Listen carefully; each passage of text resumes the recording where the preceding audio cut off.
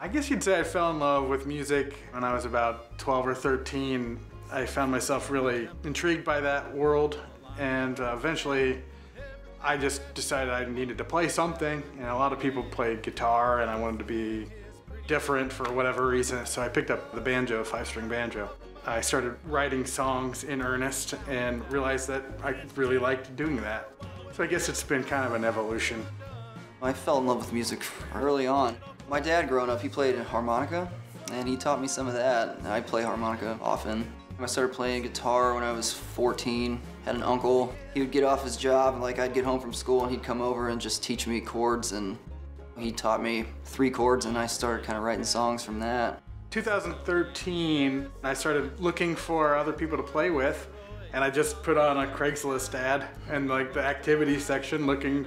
I'm a banjoist looking for people to play with, and I didn't think anyone would actually respond, but I actually got a whole lot of responses. And one of them was Dakota, and that's how we came together as songwriters and took to loving each other's songs so much. And we formed a band, of four other guys. We came upon the Lean and the Plenty, just sort of brainstorming. I like the name because, you know, it sort of plays on our different physiques, but it also sort of echoes our folk country genre.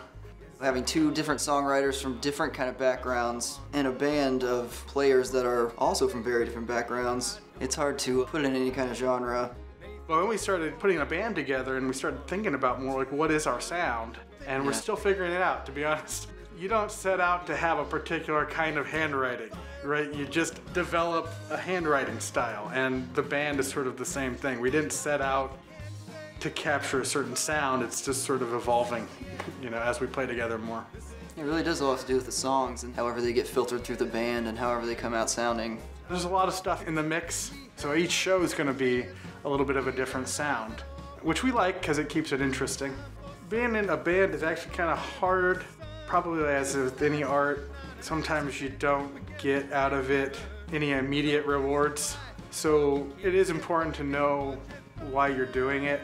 There's nothing more fulfilling in my life than making music and creating art, and I need that to be a part of my life for my life to have as much meaning as I can give it.